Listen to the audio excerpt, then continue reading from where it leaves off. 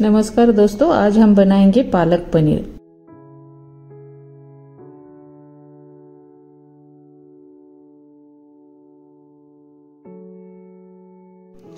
एक बड़े बर्तन में पानी उबालने रखिए। उसमें आधा चम्मच सोडा डालिए। सोडा इसलिए कि पालक का कलर चेंज ना हो। पानी उबलने के बाद पालक डाल दीजिए। तीन से चार मिनट तक उसको ब्लांच करिए। ज़्यादा पकाना नहीं है। उसको एक छन्नी में निकाल के, उसका सारा पानी निकाल के साइड में रखिए। एक बर्तन में पानी गर्म करने रखिए। पानी थोड़ा सा गर्म होने के बाद उसमें प्याज मिलाइए। प्याज को चार से पाँच मिनट पकने दीजिए। जब प्याज ट्रांसपेरेंट हो जाएगा, उसका पेस्ट बनाकर साइड में रखिए।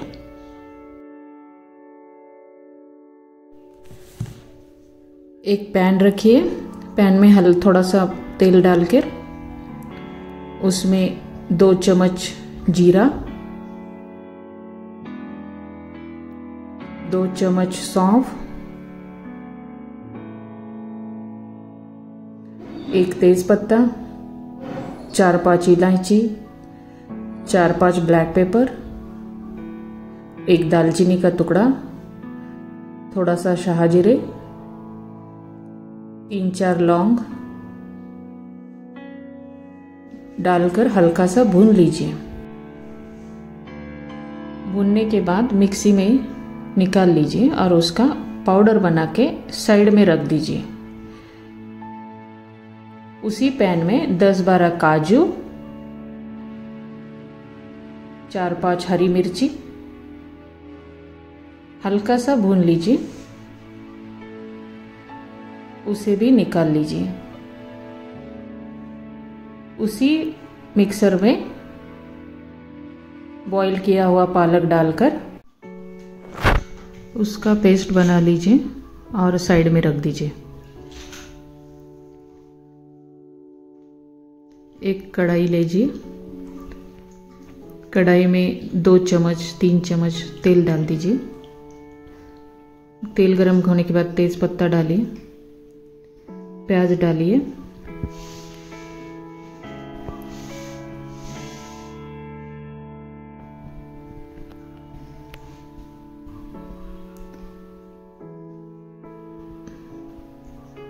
प्याज को पकने दीजिए। उसमें डेढ़ चम्मच अदरक लहसुन पेस्ट डाल दीजिए। अच्छी तरह से मिला लीजिए।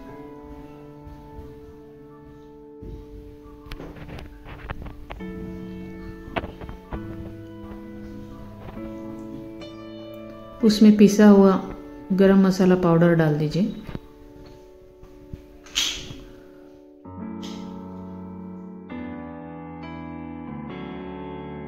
मिलाइए अच्छे से।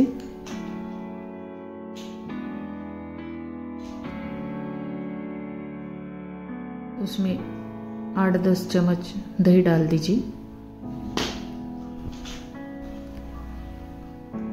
मिलाइए।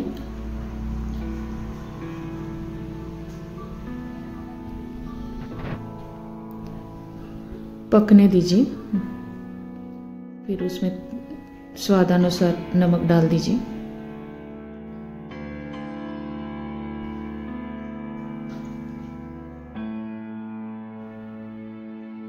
एक चम्मच शक्कर डाल दीजिए।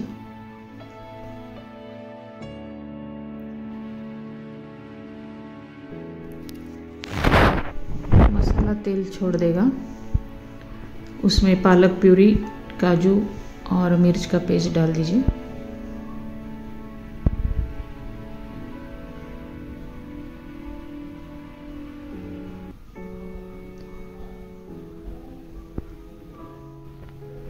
मिक्सर के बर्तन में थोड़ा सा पानी डालकर, वह पानी उसमें डाल दीजिए।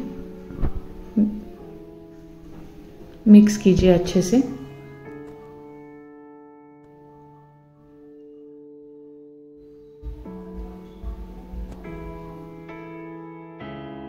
पेस्ट जब बॉईल होगा, तब क्रीम को फेंट के उसमें डाल दीजिए।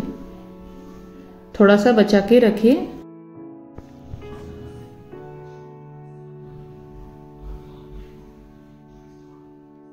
मिक्स कीजिए।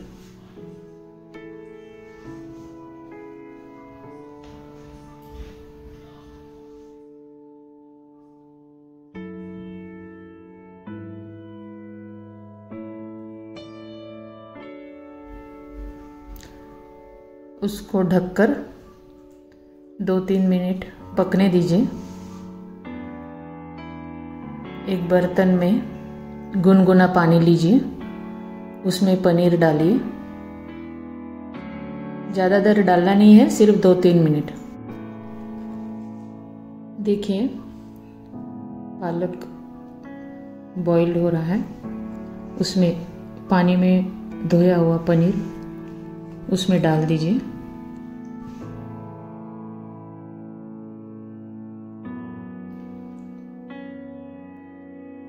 फिर इसे ढककर उसको दो या तीन मिनट के लिए पकने दीजिए।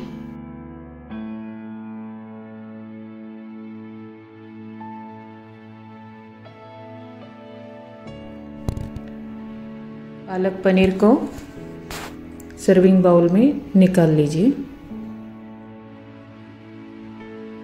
उसमें से तेज पत्ता निकाल दीजिए। बचा हुआ क्रीम से पालक पनीर को गार्निश कीजिए। पालक पनीर को रोटी या नान के साथ सर्व कीजिए।